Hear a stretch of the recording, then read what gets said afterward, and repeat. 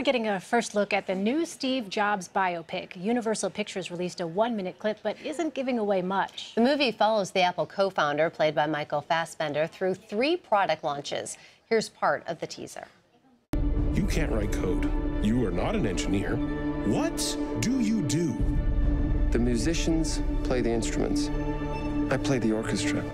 I sat in a garage and invented the future. Because artists lead and Max asked for a show of hands. I love that you don't care how much money a person makes. You care what they make. But what you make isn't supposed to be the best part of you. You're the only one who sees the world the same way I do. No one sees the world the same way you do.